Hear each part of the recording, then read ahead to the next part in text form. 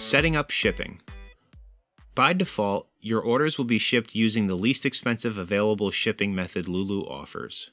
We recommend setting up your WooCommerce shipping based on a single flat rate. This will give customers one option for shipping during checkout and will charge customers the same cost for shipping no matter where they are shipping their order. First, use Lulu's pricing calculator to determine how much mail shipping will cost for the locations you'd like to ship to. Enter in your book's specifications, then enter in the number of copies and shipping country.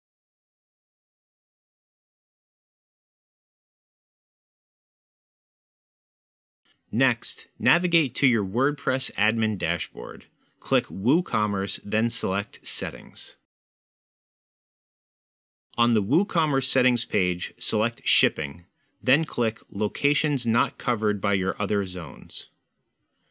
Next, click Add Shipping Method, select Flat Rate, then click the Add Shipping Method button again. After adding the flat rate, click Edit under Flat Rate and enter the price you want to charge your customers for shipping.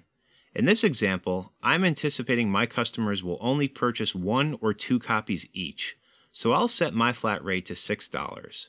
If you'd like to set up quantity-based flat rate shipping, see WooCommerce's tooltip here. Click Save Changes.